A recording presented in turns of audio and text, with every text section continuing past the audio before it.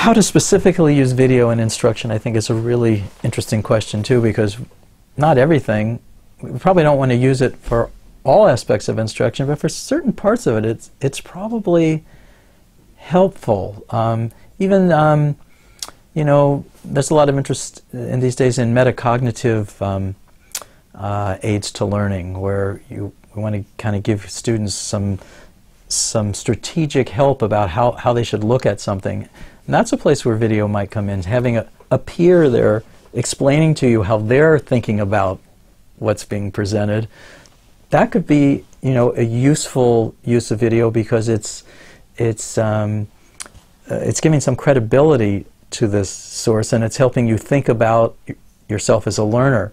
So, I mean, that's one, I, I really haven't thought about this before, but that's one possible use of video even in an online lesson or um, to be able to the video be kind of just strategic help from um, figures who are peers really um, uh,